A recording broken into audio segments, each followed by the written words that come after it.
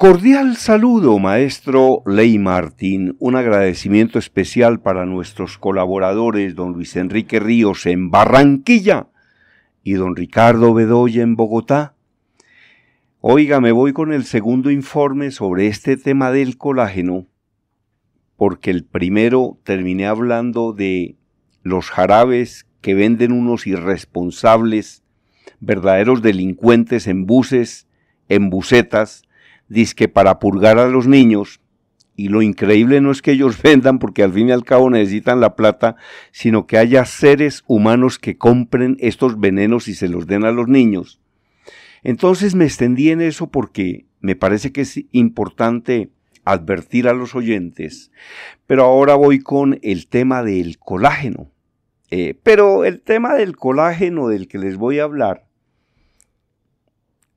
es información publicada por medios importantísimos de comunicación, medios serios, basados en fuentes científicas y no en teguas ni en brujos.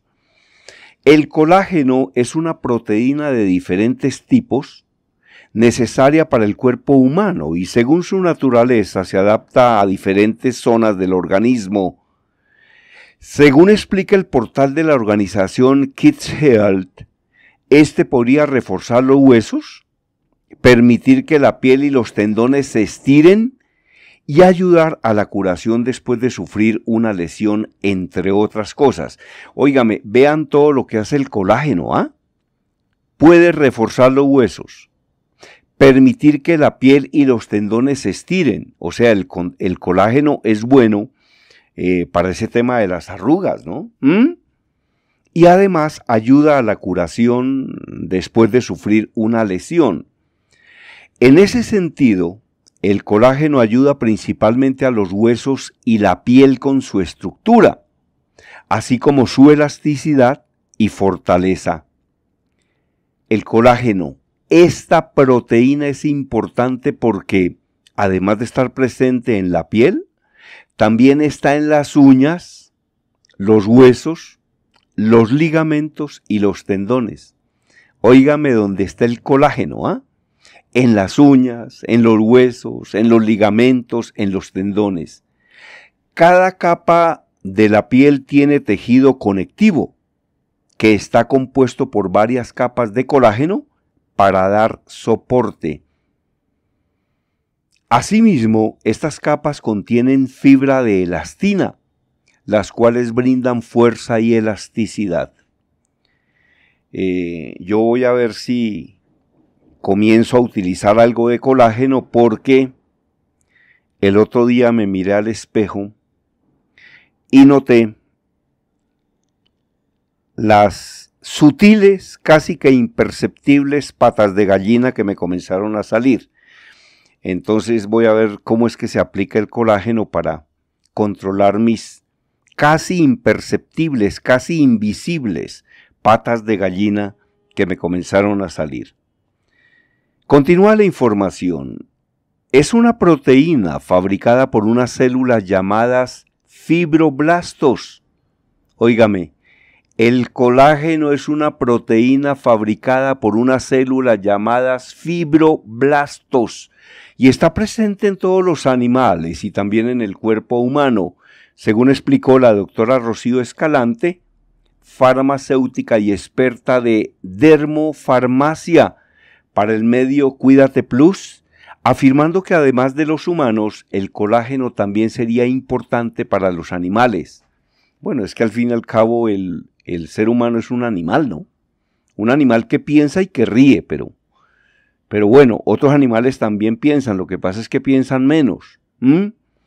Claro que hay unos humanos que parecen unos animales absolutamente descerebrados y brutales y violentos, ¿no? ¿Mm? A mí me produce indignación cada vez que escucho las entrevistas y las declaraciones que da este asesino patológico que es eh, Putin, Vladimir Putin, el líder de Rusia, ¿no? Por ejemplo, el otro día dijo que la invasión a Ucrania está siendo todo un éxito. Mejor dicho, lo que hay que hacer es ir y condecorarlo o postularlo para que le den el Premio Nobel de la Paz porque es que la operación sí ha sido muy exitosa. Imagínense considerar un éxito bombardear hospitales llenos de niños, matar civiles que huyen despavoridos por las calles de Ucrania, despedazar absolutamente ese país, porque pues al fin y al cabo Rusia es una potencia, una potencia perversa, por lo menos en su dirigente, pero es una potencia. Eh, yo decía en días pasados, una agresión de Rusia contra Ucrania, ¿qué, puede ser? ¿Con qué la comparamos? Comparémosla con eh, Mike Tyson, el campeón mundial de boxeo de los pesos pesados, peleando con un niño de 7 años. Es más o menos eso. Es más o menos eso. Es decir, le da una cachetada, ni siquiera un puño, y lo manda a la fila número 48. Eh, y amenazando al mundo, ¿no? Es el nuevo Hitler, el nuevo Hitler, un verdadero asesino, ¿no?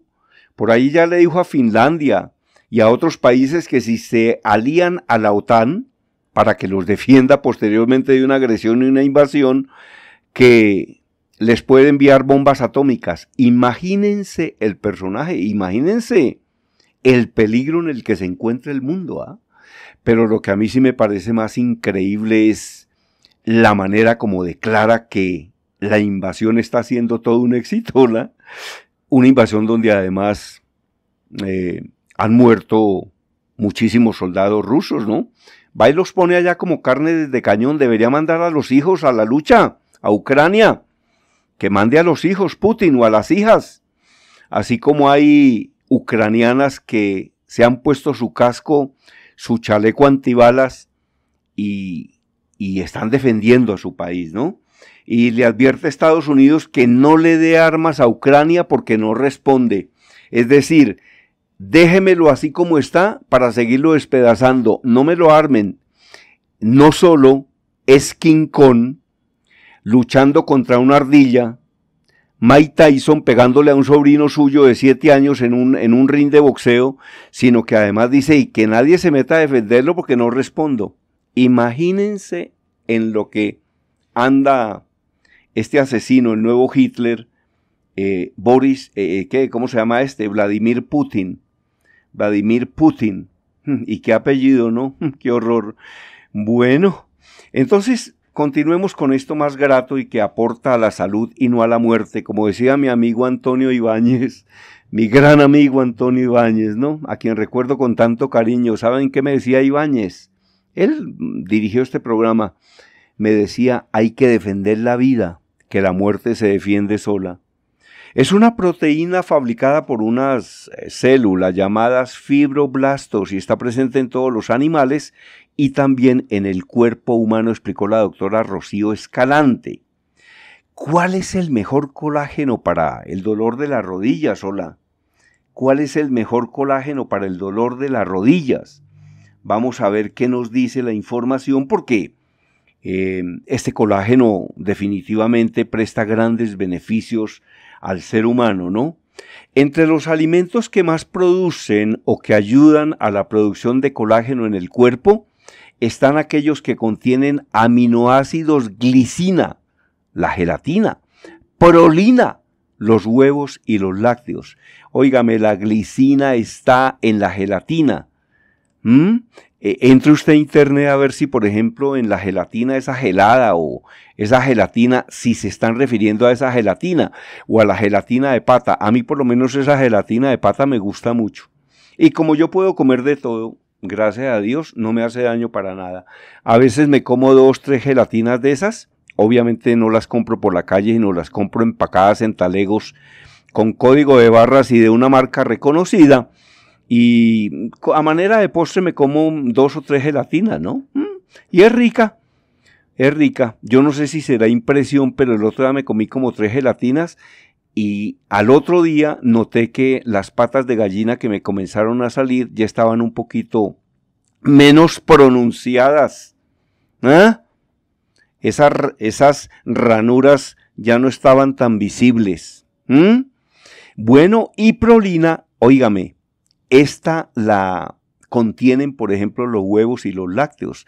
Por eso es que hay que comer huevos y también los lácteos, ¿no? Yo no tengo tolerancia a la lactosa, por eso tengo que tomar leche lactosada. Pero, pero tomo leche y digamos que con frecuencia, ¿no? ¿Mm? Y es muy rica la lechecita con bocadillo. Ay, es que el nombre del juego es todo, pero con moderación, ¿no? Consumir alimentos ricos en vitamina C es otra de las formas de producir colágeno naturalmente. Algunas de estas frutas son las fresas. Oiga, consuma fresas. El kiwi. Yo francamente no he consumido kiwi o a lo mejor lo he consumido y no me he dado ni cuenta. No sé qué es el kiwi, pero lo voy a averiguar. Guayaba, esa es la única fruta que yo no como. Y los cítricos. Entonces, ¿en qué, en, en qué he acertado? En que yo normalmente hago jugo de fresa y como fresas y también cítricos, ¿no? ¿Mm? Yo como siempre tomo son jugos naturales, bueno, esporádicamente me tomo una gaseosa, pero es muy raro que lo haga, ¿no? También se pueden incluir en la alimentación diaria el consumo de carnes y mariscos, que son proteínas de alta calidad. Entonces vean el mensaje que les envían estos científicos a los vegetarianos, y es que la carne y los mariscos sola pues tienen proteínas de alta calidad que también son importantes para el cuerpo.